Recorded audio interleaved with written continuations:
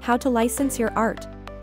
Art is more than just a creative outlet, it's a potential source of income for artists. One way to monetize your art is through licensing, which involves granting a company the right to use your artwork in exchange for royalties. Licensing offers benefits, such as passive income and increased exposure, leading to new opportunities.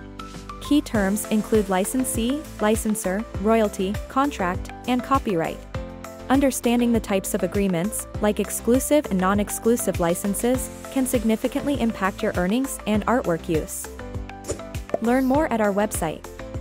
Grab our licensing royalty rates guide.